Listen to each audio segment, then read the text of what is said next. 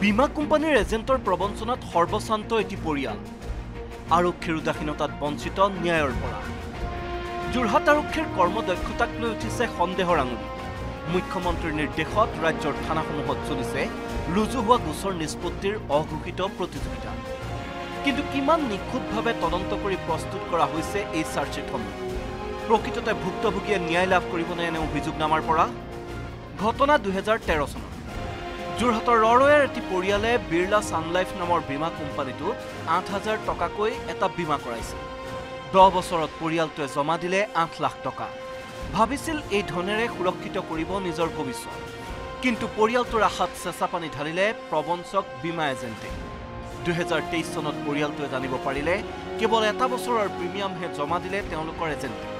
বাকী বছৰি আশী হাজাৰ টকাকৈ ন বছৰত বীমা এজেণ্টজনে আত্মসাত কৰিলে সাত লাখ বিছ হাজাৰ টকা ফলত ভুক্তভোগী পৰিয়ালটোৱে দুহেজাৰ তেইছ চনতেই ঘটনা সন্দৰ্ভত যোৰহাট আৰক্ষীক দাখিল কৰে এজাহাৰ उसके बाद हर एक साल अस्सी अस्सी हजार रुपया ले रहा था सर अच्छा और उसका बदले में मुझे जाली रसीद दे रहा मैं तो पढ़ा लिखा नहीं था सर एजेंट का नाम क्या था इंद्रजीत दे नेफा के तीनाली का है बंगाली है हाँ, हाँ। हर एक साल वो पैसा लिया घर में आके रसीद भी घर में दिया लेकिन मुझे पता नहीं था कुछ साल बाद पता चला कंपनी में मैं गया लोन के लिए तो कंपनी से पता चला कि आपका प्रीमियम एक ही प्रीमियम जमा है 2013 का उसके बाद 2014 से 20 तक मैंने दिया एक भी प्रीमियम जमा नहीं है আৰক্ষী থানালৈ ন্যায়ৰ আশাত বহুবাৰ তাঁতবাতি কাঢ়িও বিশেষ সুফল লাভ নকৰিলে পৰিয়ালটোৱে আৰু অভিযুক্ত বীমা এজেণ্টজনে জামিন লৈ দপদপাই ফুৰাৰ পিছত অৱশেষত তদন্তকাৰী আৰক্ষীয়ে গোচৰটোৰ চাৰ্জশ্বিট দাখিল কৰিলে तो तीन महीना भगा रहा पुलिस बोला कि आएगा तो हम पकड़ेगा आएगा तो पकड़ेगा लेकिन कोई कितने एक्शन दिनों का पहले की बात है ये ये कम से कम हो गया अ, जून महीना का अगले जून छह तारीख को अपार किया था जून में আৰক্ষীয়ে চাৰ্জশ্বিট দাখিল কৰিলে ঠিকেই কিন্তু গোচৰটোৰ সৈতে জড়িত হৈ থকা অতি গুৰুত্বপূৰ্ণ নথি পত্ৰ বিধিগতভাৱে জব্দ নকৰিলে প্ৰবঞ্চনা কৰা এজেণ্টগৰাকীৰ হস্তাক্ষৰ থকা নথি পত্ৰৰ ফৰেঞ্চিক পৰীক্ষাৰো ব্যৱস্থা গ্ৰহণ নকৰিলে। ফলত ন্যায় লাভৰ পৰা বঞ্চিত হৈ থাকিল পৰিয়ালটো।